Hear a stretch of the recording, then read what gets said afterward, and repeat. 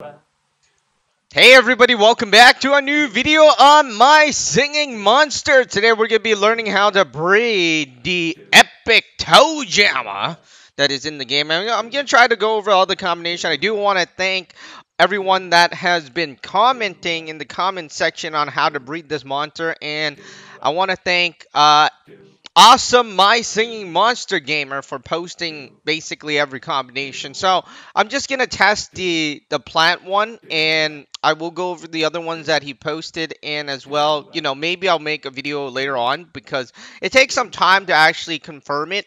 Anyway so epic toe jammer on the plant island it is three hours. All right so let's speed this one up and i'm just gonna retry so you can see the combination. I use the Entbrat as well as the Oaktopus, uh, Oaktopus um, monster, and you know, there we go, three hours. So you, you're you're not, you know, sometimes you'll get it. I mean, I got lucky, so we gotten it, but you know, it's not like it'll come out every time. I'm just saying that.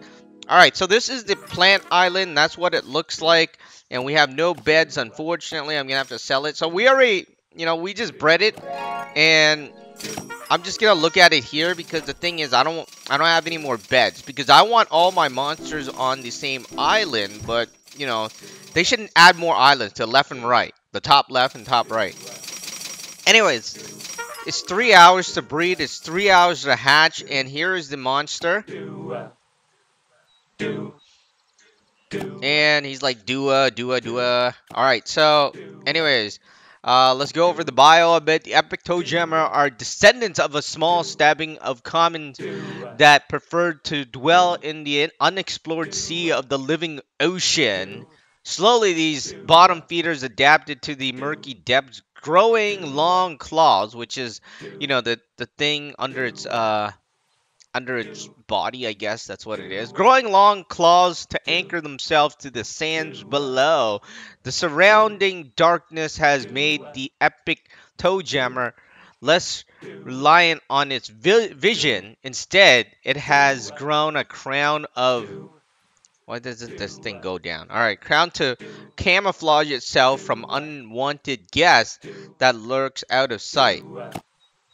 So, you know, they're talking about the hair, if you're wondering. So, you know, that's what it looks like. And the difference is it's pretty much like the same as the regular toe jammer. The only problem is its toenails are not cut. That's about it, right? And like I was saying, there's one eye. This one has two eyes.